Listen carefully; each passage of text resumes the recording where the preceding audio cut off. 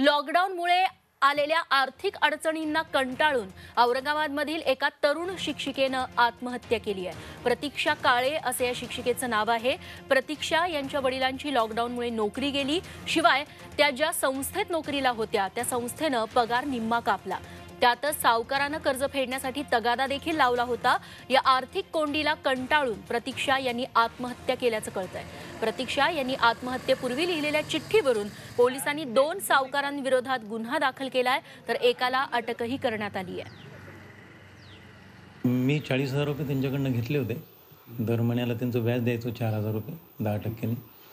तर डिसेंबरला जे पैसे घेतले होते त्याचे त्यांनी व्याज कापून घेतलं होतं. जानेवारी फेब्रुवारीचे आपण त्यांना व्याज दिलं होतं. मार्चमध्ये लॉकडाऊन झाल्यामुळे मुलीच्या शाळा बंद झाल्या होत्या. त्याचा पगारही वेळेवर मिळत नव्हता आणि वेळेवर ते पैसे देत नव्हते व्याजाचे.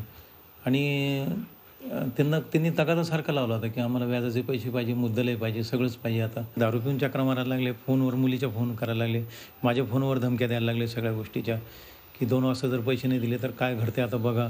आम्ही काय धिंगाणे करणार आहे? दोन तीन दिवसानंतर सुसाईड नोट आम्हाला मिळून आली. त्याच्यामध्ये दोन जण त्यांना पैशासाठी सारखा तगादा लावत होते. आणि त्यांना कंटाळून सदर मुलीने आत्महत्या केलेली आहे असं त्या चिठ्ठीमध्ये तिने लिहून ठेवल्यावरून दोन जणांविरुद्ध आम्ही गुन्हा दाखल केलेला आहे. त्याच्यातला एक आरोपी अटक केलेला आहे. एक आरोपी सध्या आजारी असल्यामुळे त्याला तात्काळ अटक करण्याची तजवीज ठेवलेली आहे.